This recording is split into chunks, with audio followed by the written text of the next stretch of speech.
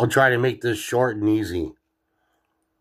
For the last 24 hours, my YouTube navigation bar was gone. I couldn't post anything. Couldn't do a short.